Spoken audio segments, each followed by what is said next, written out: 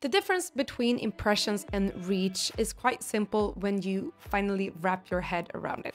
So number of impressions is the number of times that your ad was shown on a screen anywhere.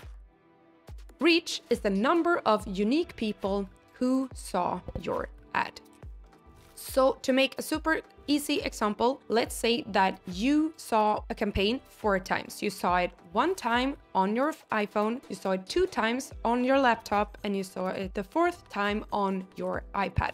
This means that you got to see the ad four times, which means that the number of impressions is four, but you are still one person. So reach is one person, but impressions is four.